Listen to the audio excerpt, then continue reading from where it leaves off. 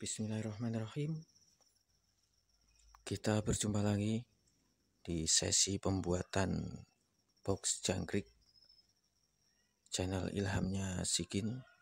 Box yang Anda lihat sekarang adalah box minimalis. Ini saya mencontoh dari salah satu guru jangkrik saya. Guru di bidang peternakan jangkrik maksudnya yakni Mas Heri Sugiarto atau lebih dikenal akrabnya dengan Risugi. Uh, beliau adalah orang Sragentina ya, Sragen. Ukurannya untuk lebarnya adalah 1 meter, kemudian panjangnya ini 120 cm dan tingginya sekitar 60 cm ya, 63 ini, 60 cm. Sementara tinggi tiangnya 18 cm dan ini ember cor. Yang bagian dalamnya kita kasih oli bekas untuk pengaman anti semut. Jadi jangkrik yang di sini adalah jangkrik sisa-sisa panen daripada mubadir dibuang. Kita taruh di sini nanti pelan-pelan kita ambil untuk pakan burung atau pakan ayam. Banyak dari triplek Selanjutnya akan kita perlihatkan box model lain.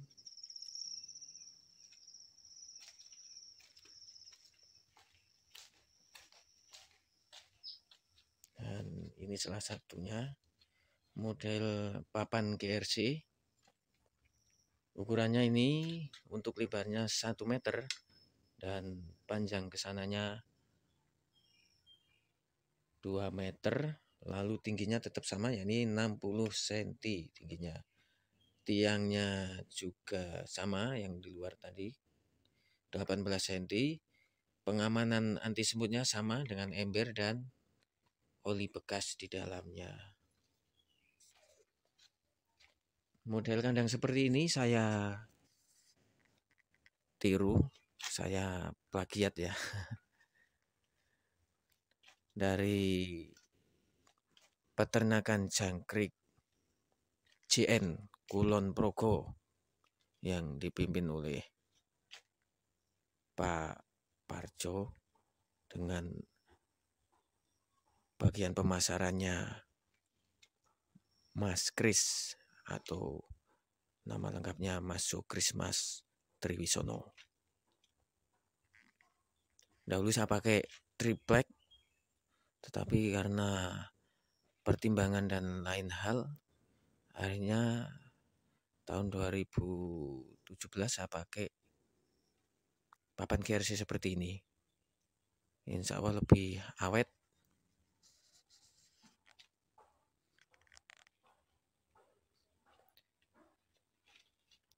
Untuk soal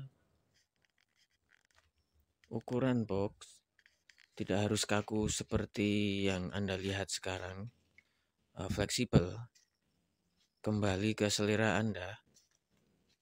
Ada yang pakai papan apa itu papan triplek, ada yang pakai papan GRC, jadi monggo suka-suka uh, Anda. Bagian kayunya saya menggunakan kaso.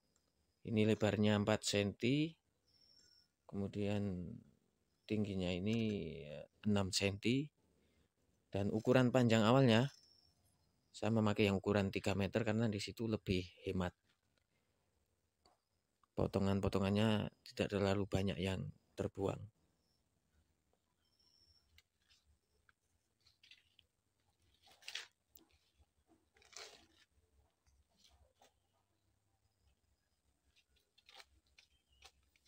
keunggulan dari papan GRC adalah dia lebih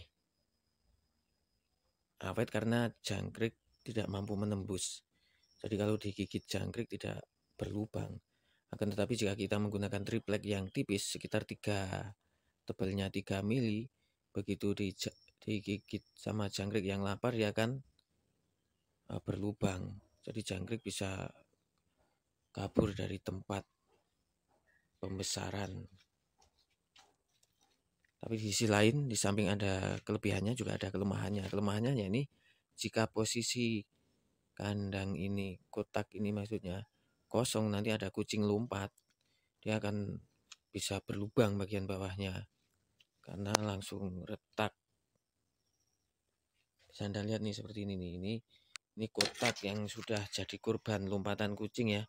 Jadi ini kosong, ini nggak kepake sementara belum kepake nanti suatu saat kita aktifkan kembali ini untuk penampungan uh, bagi pembesar eh pembesaran apa bagi indukan dan tempat bahan-bahan lain seperti karung dan kantong jangkrik.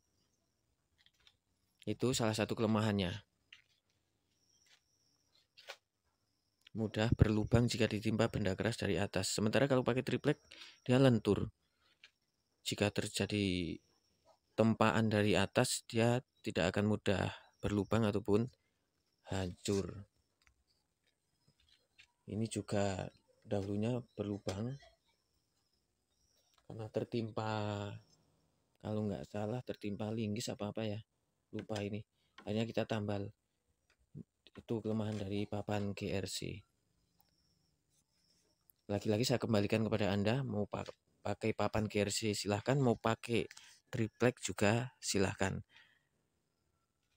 Bisa Anda timbang-timbang atau pikir-pikir kembali. Cara pembuatannya adalah sebagai berikut.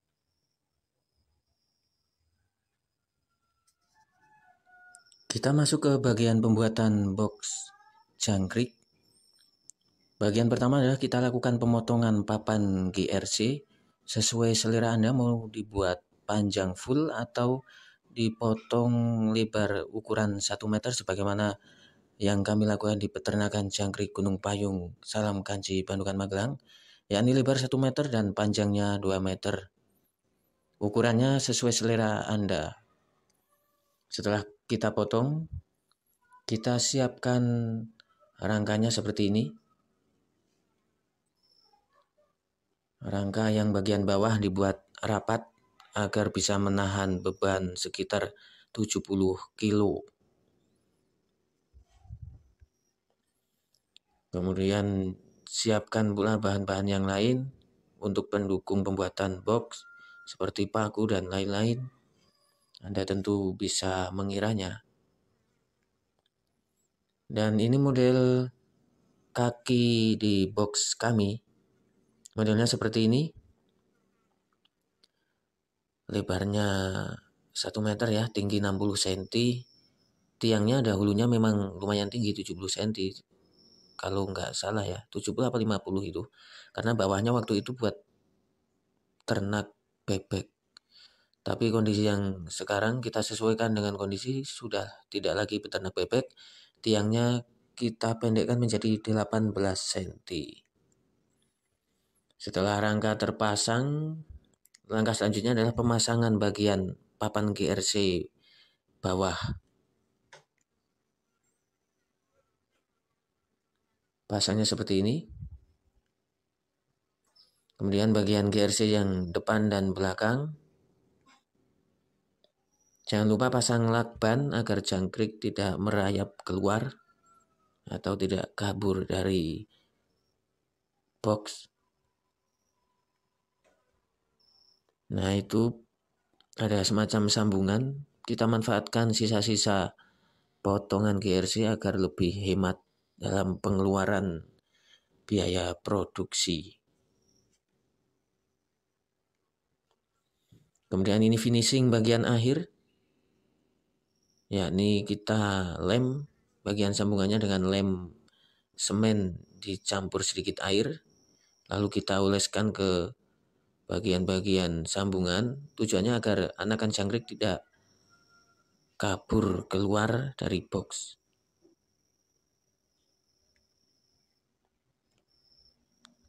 Ini adalah posisi box sudah jadi sempurna. Seperti itu kondisinya Kami kembalikan ke Anda masalah ukurannya mau yang ukuran besar apa kecil. ada yang ukuran full triplek atau full papan GRC yakni 120 lebarnya, panjangnya 240 dan tingginya 60 cm ditambah tinggi tiang sekitar 20 cm atau 18 cm. Lagi-lagi terserah Anda sesuaikan lokasi Anda berada. Kalau lokasinya luas bisa ukuran full triplek, tetapi jika lokasinya sempit, saya sarankan sebaiknya pakai ukuran 2 meter semeter saja. Demikian semoga informasi ini bermanfaat. Jangan lupa subscribe, like, and share ke teman-teman agar saling membantu dalam hal kebaikan. Semoga sukses. Salam dari peternakan jangkrik Gunung Payung. Salam kanci. Kecamatan Bandungan, Kabupaten Magelang. Saya Ilhamnya Sigit.